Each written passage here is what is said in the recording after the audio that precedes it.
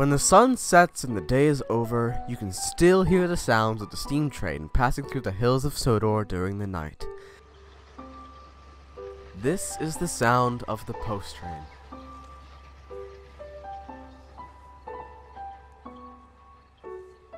Every evening, an engine from the other railway brings in special coaches filled with parcels, newspapers, and letters to the junction. One of the Fat Controller's engines takes it onto the big station, where it's taken to villages and towns beyond. It's almost as loved by the engines as the Wild Nor'Wester, but none enjoyed it as much as James.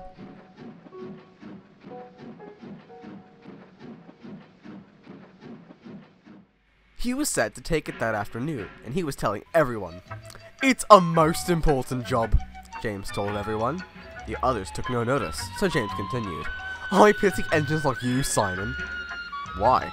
Simon replied flatly. You're only a little shunter, James went on. You never get the prestige of taking such a special train like us big engines. I'm sure I'd make the headlines if people saw me. Simon began to grow annoyed. I'm not one for theatrics and stardom. Perhaps if I look like a tomato sauce bottle like you do, I too would have to prove myself constantly.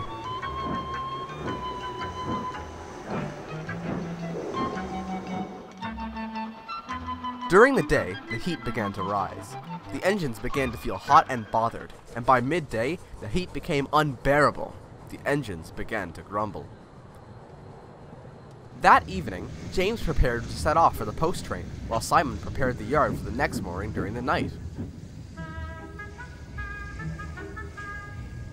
He had just finished arranging the trains when the signalman ran up to him. You'll need to meet James with a line. His brake pipes failed. Rid the only engine steam, quickly! Say no more, said Simon, and he raced up the line to meet James.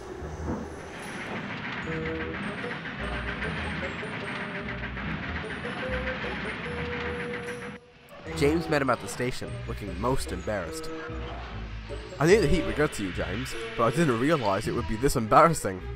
James took no notice. He just looked at his buffers crossly. Simon shunted him out of the way, and prepared to take the train onto the big station. Simon was coupled to the train and jolted the vans off into motion, sparks leaping from his funnel. Good grief, Simon said to himself. It's heavier than it looks but the weight was the least of his problems.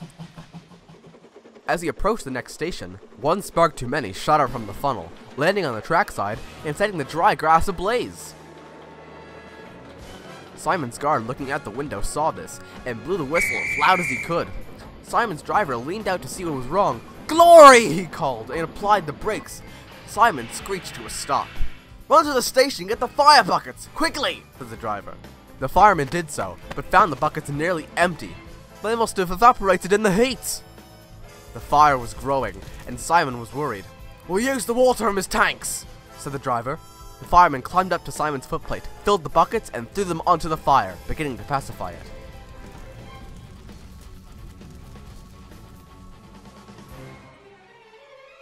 Soon, the fire brigade arrived and the fire was put out. Luckily, no damage had been dealt. When the sun began to rise, Boko arrived to pick up Simon in the mail train.